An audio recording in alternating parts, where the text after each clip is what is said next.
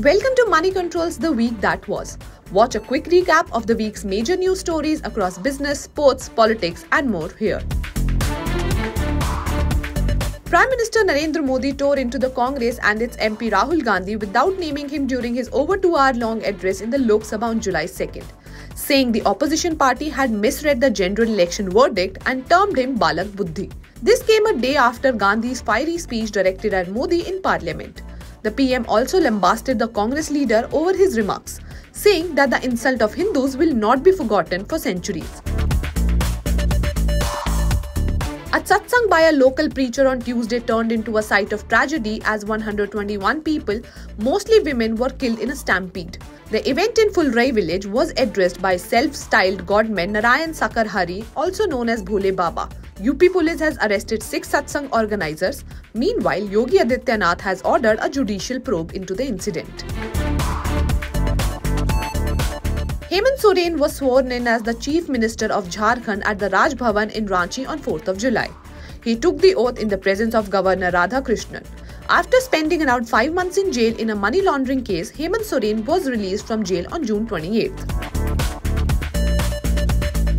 World champions reached India after being stuck for two days in Barbados due to Hurricane Beryl.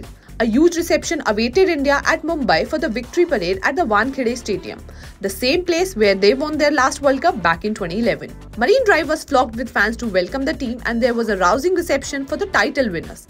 Upon arrival in Delhi, they were first welcomed with dhols and bhangra, then PM Modi also hosted them at his residence and had a long chat with them.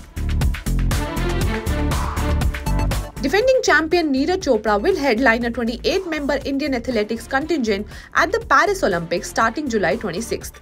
The squad comprises 17 men and 11 women athletes, with some of the other prominent names being Asian Games champions Avinash Sable, Tejinder Pal Singh Toor, along with sprint hurdler Jyoti Yarraji. Tokyo Games gold medalist Chopra has decided to skip the last Diamond League this weekend in Paris in order to prepare for the Olympics. The UK's opposition Labour Party won a huge parliamentary majority in the country's general election, unseating the incumbent Conservatives after 14 years. Prime Minister Rishi Sunak conceded defeat and later exited Downing Street and resigned as the Conservative Party leader.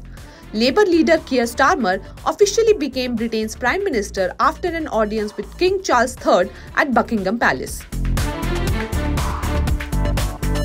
The S&P BSE Sensex scaled the mark of 80,000 on Wednesday for the first time, marking yet another landmark for the index that has made new records multiple times already this year. The last 10,000 points were added by the Sensex in under 7 months. It had first hit the mark of 70,000 on December 11, 2023. Mahindra & Mahindra is the top performer on the Sensex during this period, as has been the case with the Nifty 50 as well.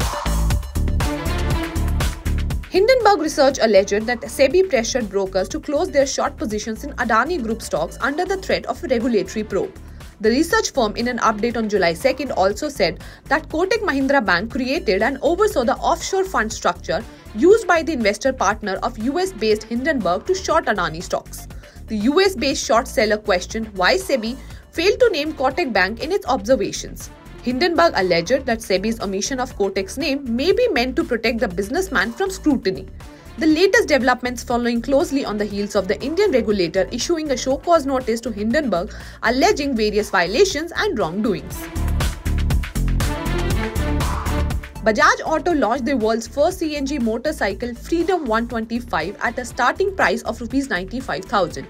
The bike will be available in Maharashtra in the first phase the new model across its official dealerships as well as through the online medium. Bajaj Freedom 125 is equipped with a twin tank setup, one for petrol and the other for CNG. The company revealed that the new model has flexible fuel options, featuring two separate switches for petrol as well as CNG. Bollywood celebrities, cricketers, industrialists, and Hollywood stars like Justin Bieber attended the Sangeet ceremony of Anant Ambani and Radhika Merchant. Anant Ambani and Radhika Merchant is all set to be wed on July 12th in Mumbai, following their lavish pre-wedding celebrations in Jamnagar and a star-studded cruise event earlier. The pre-wedding rituals commenced with a Mameru ceremony on July 4th.